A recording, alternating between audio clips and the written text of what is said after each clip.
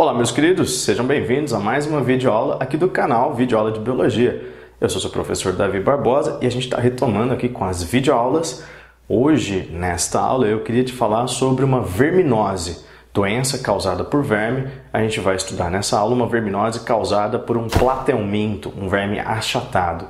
Você vai estudar nessa aula a doença das tênias ou solitárias. Você vai estudar a teníase você vai ver as duas tênias que causam essa doença. Você vai ver que a teníase a gente pega, o indivíduo pega, ingerindo carne crua ou mal passada, contendo larva do parasita. Essa é a doença que você estuda nessa aula. Voltando aqui com as videoaulas do canal Videoaula de Biologia, você de coração, você que se inscreveu, você que assiste os vídeos, eu te agradeço do fundo do coração. Você está ajudando bastante aqui o canal. O canal está crescendo aos poucos, mas ele está indo para frente. Eu fico muito feliz com isso. Eu espero que você dê um like no vídeo. Se você gostar, é claro. Se você não é inscrito, se inscreva no canal, ative o sininho para você receber os vídeos e aproveite a aula então.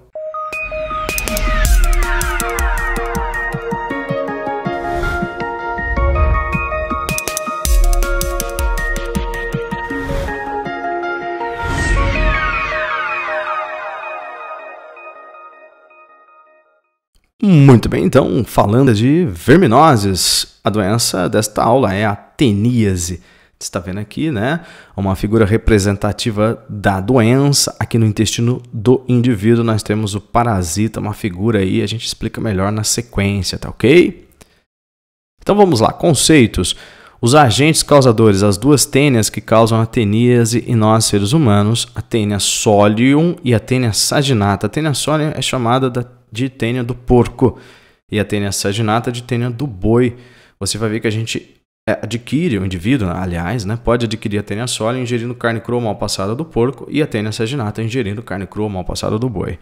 Então vamos lá, agentes intermediários da tênia sólio, o porco, e da tênia saginata, o boi, são os hospedeiros intermediários. A transmissão, né, como que ocorre a transmissão? Ingestão de carne crua ou mal passada destes animais com larva dos parasitas. Então, se na carne desses animais, né, tiver a larva das tênias, o indivíduo vai ter a doença delas, teníase. Ah, ah, olha lá, tá aqui, apareceu inclusive para vocês aqui o que tem na carne crua mal passada, tem que ter a larva cisticerco. Local de ação é o local onde o parasita se instala. O parasita adulto se instala no hospedeiro humano, tá ok? Ele vai se instalar no intestino, em toda a porção intestinal, nós estamos falando, né, turma, de parasitas que atingem grande comprimento, metros de comprimento, então eles vão atingir praticamente toda a extensão, todos os metros, né, do intestino, da porção intestinal, intestino delgado, intestino grosso, inclusive. Sintomas: o que o indivíduo sente? Cólica, né, dor de barriga, né, cólica intestinal. É, perda de peso, o parasita se alimenta do que o indivíduo se alimenta, ele pode perder peso, tá? Isso não é tão pronunciado, não é tão evidente, não chama tanta, atenção, mas perde peso, tá ok? Profilaxias, medidas que evitam que combatem a doença. É, saneamento básico, evidentemente, uma doença também veiculada pela água, é, isso principalmente na contaminação do porco e do boi. Né? O indivíduo contaminado, o homem contaminado, libera nas fezes ovos do parasita. Esses ovos, ingeridos pelo porco pelo boi, vão desenvolver neles a larva na sua carne, né? na carne desses hospedeiros. Quando a gente come a carne, obviamente a gente tem a doença, então saneamento básico é importante, tratar água e esgoto. Evitar carne crua mal passada, tomar sempre cuidado com a carne, com a origem da carne. E tratamento medicamentoso, né? Tem remédio para verme, né? Remédio para as vermes, para esse tipo de verme. Albendazol é um deles e praziquantel, vale lembrar que sempre na, na ocasião de tomar medicamento, o médico deve ser procurado, porque ele vai pedir um exame de fezes para se de detectar exatamente qual é o verme parasita causador da doença e indicar o medicamento mais acertado. Os dois aqui que podem ser indicados pelo médico é o albendazol e o praziquantel, medicamentos que só vendem com receita médica, tá? Muito bem, só para você ver aqui, nós temos aqui o corpo de uma tênia, né? Só uma figura, não dá para perceber que esse bicho atinge metros de comprimento, pode passar de 10 metros de comprimento, tá ok? Aqui você vê a cabeça do parasita, que a gente chama de scolex, e aqui você vê as proglotes, que são os segmentos do parasita, tá? Então nós temos lá o scolex, é o nome da cabeça do parasita. Aqui a gente vê uma, duas ventosas. Esse animal tem quatro ventosas, tá aqui, ó, que tem uma, duas, que ele utiliza para fixação no intestino. E aqui a gente vê uma coroa de ganchos também utilizada para fixação no intestino, mais ou menos, né? A foto está um pouquinho menos nítida aqui, mas esse animal eles têm mecanismos, uh, estruturas de fixação no intestino. As proglotes, proglotes uh, é um jeito, é um dos nomes para os segmentos corporais, tá? As proglotes que estão aqui no final do animal, meus queridos, tem, umas, tem centenas eh, de milhares de ovos que são liberados com as fezes do hospedeiro, tá? Muito bem, só para você comparar aqui, né? Então aqui a gente tem a cabeça da tênia solium, a cabeça da tênia saginata, a proglote grávida, ou grávido, né? Os anéis que têm ovos da tênia solium e aqui o anel proglote grávida da tênia saginata, só para diferenciar a tênia do porco tá aqui, a tênia do boi tá desse outro lado. Então nós temos aqui tênia sólium, tá vendo? Uma cabeça com ganchos. A tênia sólium tem uma coroa de ganchos, a gente chama de rostro, né? O rostro aqui com ganchos. A tênia saginata, tá vendo? Ela não tem essa coroa de ganchos. É, ela tem aqui uma proglote grávida. Isso aqui é um útero, tá, gente? Ó, isso aqui é um útero cheio de ovos.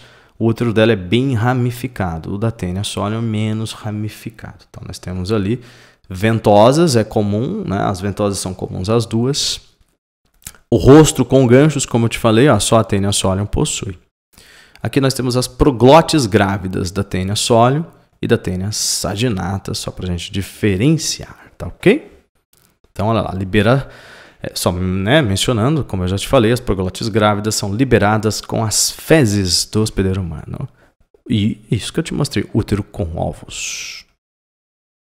Bom, transmissão, tá aqui, né? A ingerir carne crua, mal passada, contaminada, né? Tá vendo? Aqui você vê um, uma, uma larva, um cisticerco. Ela é oval ou cística, tá? Então dá pra ver, tá vendo? Aqui a gente tem uma larva, aqui a gente tem a segunda larva, tá vendo? Certo? Então aqui a gente vê os cisticercos contaminando. Se o indivíduo ingerir essa carne, ele vai ter ateníase, obviamente, né? Então, tá vendo? Cisticerco na carne bovina.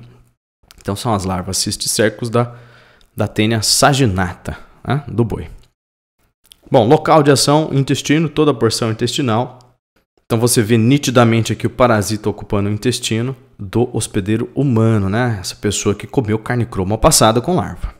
Ah, então tá vendo? Intestino aí, no intestino, o verme parasita. Parasita adulto tá aí no intestino. Essa é a doença da, das tênias, né? Teníase. Obviamente o que o indivíduo tem é o parasita adulto. Bom, tá aí o ciclo de vida, né? Tudo começa com o homem doente. O homem doente, né? Ele vai e, obviamente, né? Tá aqui, ó, né? No seu intestino, a gente vê aqui ampliando um pouquinho melhor o parasita adulto, tá vendo? O parasita adulto na mucosa intestinal. É, o parasita ele vai liberar os anéis finais, que são as proglotes grávidas. Então tá aqui uma proglote grávida com o útero cheio de ovos, tá vendo? Então parasita adulto, proglote grávida que é liberada com as fezes, tá vendo? Liberada com as fezes. Muito bem, né? As proglotes grávidas têm ovos. Esses ovos são ingeridos pelo animal, pode ser o porco ou o boi, e na carne do porco ou boi se desenvolverá isso daqui, ó, que é a larva cisticerco, tá vendo? É, então nós temos aí útero com ovos, né? Dos ovos eclodem as larvas, né? Certo? Esses ovos são ingeridos pelo porco ou pelo boi. Na carne destes animais se desenvolve, tá aí ó, larva cisticerco, tá vendo? Aqui eu fiz o tecido muscular, tá certo? Ó, tecido muscular, porco ou boi, com a larva cisticerco. Se o indivíduo, né, ingerir essa carne com essa larva, ele vai ter no seu intestino desenvolvimento parasitador. Então tá aqui, ó, tá vendo? Ó? Carne crua mal passada com larva cisticerco, um, ingestão dessa carne, tá vendo? Com larva, leva o indivíduo a ficar doente, né? Porque ele vai ter o parasita adulto, ele vai ter a doença teníase.